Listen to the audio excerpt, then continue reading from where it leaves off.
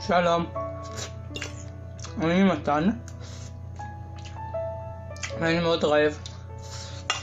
אבל עוד לא מגורמת ואני צריך לאכול מזל טוב בצורה מפגרת. אז אני